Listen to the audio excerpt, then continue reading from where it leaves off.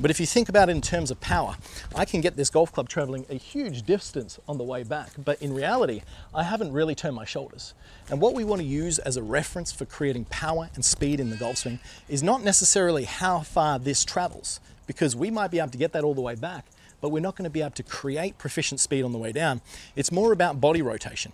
We need to get these shoulders turning all the way back 90 degrees. Now, this is not relative to flexibility or mobility. You can just simply turn your lower body if you do struggle to create that nice big turn. But then from there, as soon as we get that 90 degree shoulder turn, the rest of this arm overrun as such, the more that we get these elbows bending and separating and moving behind us, just increases our inconsistency at the moment of impact.